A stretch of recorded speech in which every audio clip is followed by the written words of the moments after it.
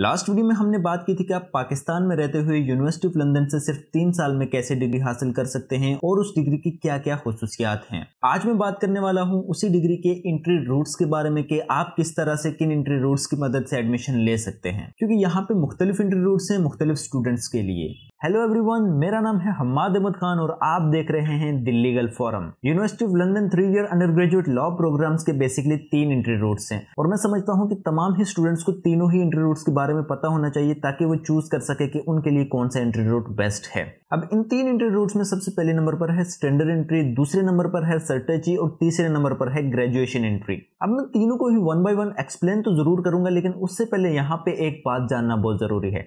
देखिए, पूरी दुनिया में जो एजुकेशन का सिस्टम फॉलो किया जाता है, वो ए लेवल्स बेस पे होता है, यानी thirteen year of education high school pass करने के लिए आपको चाहिए होती है। लेकिन यहाँ पे पाकिस्तान में ऐसा नहीं है। पाकिस्तान में आपकी जो इंटरमीडिएट तक के ईयर्स हैं, वो होते हैं 12 साल। हम इसको ए लेवल्स के इक्वलेंट तो समझते हैं, और यहाँ पाकिस्तान में ए लेवल के इक्वलेंट माना भी जाता है, लेकिन पूरी दुनिया में ऐसा नहीं है। पूरी दुनिया में A levels thirteen year of education को कहा जाता है। अब यहाँ हमारे पास एक साल का डिफरेंस आता है, यानी एक साल हमारा कम होता है। इसलिए फॉरेन जो डिग्रीज हैं, उनमें बहुत सारी डिग्रीज ऐसी होती हैं कि हम उनमें डायरेक्टली एडमिशन नहीं ले सकते। हमें एक साल का या तो फाउंडेशन करना पड़ता है डिफरेंट कंट्रीज़ में जो भी डिफरेंट डिग्रीज ऑफ़र करते हैं, वो हमें एक साल का पहले फाउंडेशन करवाते हैं। उसके बाद वो डिग्री में इंटरव्यू देते हैं। या फिर हमें ग्रेजुएशन या अपनी जो डिग्री है, यहाँ पे उसका एक साल फ़र्स्ट ईयर उसका कंप्लीट करके उसके बाद हमें अप्लाई करना होता है, ताकि जो हमारी एजुकेशन का पीरियड है, वो पूरा हो जाए। अब इसी तरह से यहाँ पे भी है, लेकिन यहाँ पे कुछ आपको रिलैक्सेशन हैं, कुछ यूनिवर्सिटी ऑफ़ लंदन की तरफ़ से कुछ ऐसे एंट्री रूट्स निकाले गए हैं कि आप इंटरमीडिएट के बाद भी एडमिशन ले सकते हैं। सबसे पहले अगर हम बात करें स्टैंडर्ड एंट्री की तो जैसे मैंने कहा, ये है ए लेवल्स वाले स्टूडेंट्स के लिए, जिनके एजुकेशन ईयर्स थर्टीन ईयर्स बन रहे हों। आप भी इसमें एडमिशन ले सकते हैं स्टैंडर्ड एंट्री के थ्रू लेकिन उसके लिए आपको ये करना होगा कि सबसे पहले आपको ग्रेजुएशन कंप्लीट करनी होगी, उसके बाद ही आप स्टैंडर्ड एंट्री के थ्रू अप्लाई कर सकते हैं। लेकिन यहाँ पे किसी भी एंट्री में थोड़ा सा नाम का फ़र्क हो सकता है, लेकिन सिर्फ़ थोड़ा सा एक ग्रेजुएशन इंट्रीज में कुछ चेंजेस हैं, बाकी यहाँ पे कुछ चेंजेस भी नहीं हैं।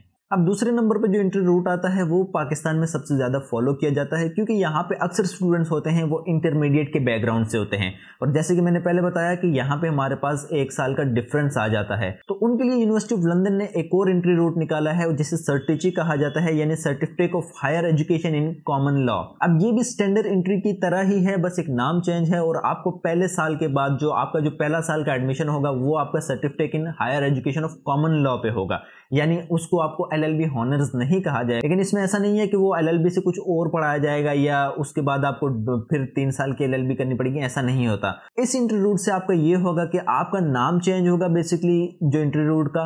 और एक सर्टिफिकेट आपको पहले साल के एंड पे आपको एक सर्टिफिकेट मिलेगा, जिसमें बेसिकली आपका एनरोलमेंट होगा। इसमें होता यह है कि जो स्टैंडर्ड एंट्री में फ़र्स्ट ईयर में पढ़ाते हैं, वही सब्जेक्ट सारे यहाँ पे पढ़ाते हैं। सेम डे एग्ज़ाम होता है सेम एग्ज़ाम होता है, हर चीज़ सेम होती है। और ये कंप्लीट करने के बाद आप डायरेक्ट एलिजिबल हो जाते हैं डिग्री प्रोग्राम के डायरेक्ट सेकेंड ईयर में एडमिशन के। यानी नेक्स्ट ईयर आप एल एल हॉनर्स के डायरेक्टली सेकेंड ईयर में जाएँगे और ये दोनों ये अथेंटिक वेज हैं, ये यूनिवर्सिटी ऑफ़ लंदन की तरफ़ से खुद दिए गए हैं।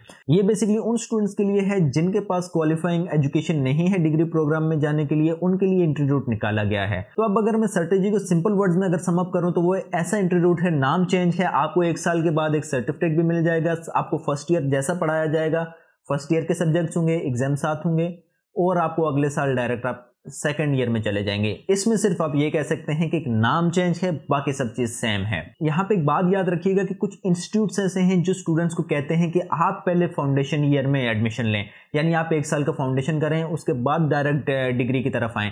तो मैं यहाँ पे आपको कहता हूँ कि आपको उसकी बिल्कुल भी ज़रूरत नहीं है, वो total waste of time and waste of money है। और वो जो इंस्टीट्यूट हैं, वो सिर्फ़ और सिर्फ़ अपने पैसों के लिए वो आपका एक साल बर्बाद कर देते हैं। और तीसरा जो इंट्री रूट है, वो है ग्रेजुएशन एंट्री यानी इसमें अगर आपके पास ग्रेजुएशन है फोर ईयर ग्रेजुएशन यहाँ पे देखिएगा दो साल का ग्रेजुएशन बीए वगैरह नहीं चलेगा। आपको एटलीस्ट फोर ईयर ग्रेजुएशन चाहिए होता है जो अक्सर लोग करते हैं किसी टेक्निकल फ़ील्ड में, जो कि चार साल का ग्रेजुएशन होता है। उसके बाद आप ग्रेजुएशन एंट्री के लिए अप्लाई कर सकते हैं, और उसमें ऐसा होता है कि कुछ सब्जेक्ट्स थोड़े से कम होते हैं, और आप सिर्फ़ और सिर्फ़ दो साल में ही अपनी लॉ की डिग्री कंप्लीट कर सकते हैं। ये ग्रेजुएशन एंट्री के लिए ही है सिर्फ़ कि आप दो साल में अपना डिग्री प्रोग्राम कंप्लीट कर सके, लेकिन उसके लिए आपके पास चार साल का ग्रेजुएशन लाजमी है। चार साल से कम वाले ग्रेजुएशन पे आपको नहीं मिलेगा। उम्मीद करता हूँ आज की ये वीडियो आपके लिए हेल्पफुल रही होगी एडमिशन इंटरव्यू रूट्स को समझने के लिए। इसी तरह की मजीद वीडियोज़ के लिए हमारे साथ जुड़े रहें, मेरे इस चैनल को सब्सक्राइब करें। मिलते हैं अगली वीडियो में, तब तक के लिए अपना बहुत सारा ख्याल रखिएगा। अल्लाह हाफिज।